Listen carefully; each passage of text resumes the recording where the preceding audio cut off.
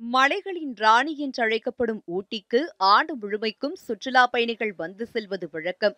ஊட்டி மற்றும் அதனை சுற்றியுள்ள பகுதிகளில் ஏராளமான சுற்றுலா தலங்கள் இருப்பதாலும் அதன் தட்பவெப்ப சூழலாலும் இங்கு சுற்றுலா பயணிகள் வந்த வண்ணம் உள்ளனர். ஊட்டியின் முக்கிய சுற்றுலா தலங்களில் ஒன்றாக விளங்குவது முதுமலை. ஊட்டியில் இருந்து முதுமலைக்கு செல்லும் பாதையில் சிக்கல் எழுந்துள்ளது. ஊட்டியில் இருந்து முதுமலை செல்வதற்கான பிரதான சாலையாக கூடலூர் வழியிலான சாலை பயன்படுத்தப்படுகிறது. ஆனால் இந்த பாதை வழியாக செல்வதால் எழுபத்தி இரண்டு கிலோமீட்டர் தூரம் செல்ல வேண்டி இருப்பதால் முப்பத்தி இரண்டு கிலோமீட்டர் தூரமே உடைய ஆபத்தான கள்ளட்டி மலைப்பாதையை பயணிகள் பயன்படுத்துகின்றனர்.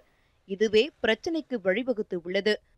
சரிவுகளும் கொண்டை ஊசி வளைவுகளும் நிறைந்த ஆபத்தான மலைப்பாதையாக இது அமைந்திருப்பதால் பல்வேறு விபத்துகள் நடப்பது வழக்கமாக இருந்தது.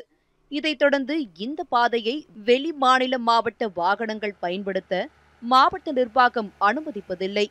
கல்லட்டி மலைப்பாதையில் வந்துட்டு இவங்களுக்கு எப்படி வண்டி ஓட்டுறது? எது மாதிரி வண்டி ஓட்டிட்டு வர்றது? எந்த கியரில் வர்றது? அப்படின்றத வந்துட்டு எதுவும் தெரியறதில்ல. ஏன்னா இவங்கெல்லாம் வந்துட்டு சமவெளியிலேருந்து வரவங்க.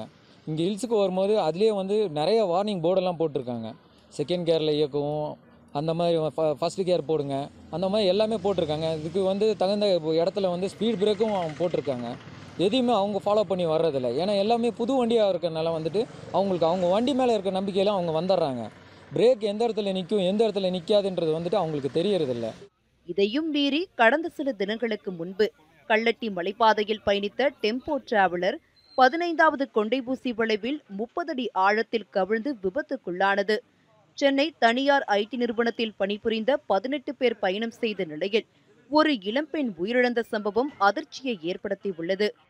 உயிர் பறிக்கும் ஆபத்தான சாலை என்பதை தெரிந்தும் சட்டவிரோதமாக வேனை இயக்க தூண்டிய தனியார் காட்டேஜ் உரிமையாளர் மற்றும் உதவியாளரை காவல்துறை கைது செய்துள்ளது காவல்துறையின் அனுமதியின்றி குறுக்கு பாதை மூலமாக கள்ளட்டி பாதையை பயன்படுத்தியது விசாரணையில் தெரியவந்துள்ளது. உதகையில் இருந்து மைசூர் செல்லும் சுற்றுலா வாகனங்கள் அனைத்தும் நடுவட்டம் கூடலூர் வழியாக செல்ல வேண்டும் என உத்தரவிடப்பட்டுள்ளது. தடையை மீறி வாகனங்களை இயக்கினால் கடும் நடவடிக்கை எடுக்கப்படும் என காவல்துறையினர் எச்சரிக்கை விடுத்துள்ள நிலையில் தீவிர கண்காணிப்பு பணிகளில் ஈடுபட்டு உள்ளனர். நீலகிரியில் இருந்து செய்தியாளர் பிரபு நியூஸ் செவன் தமிழ்.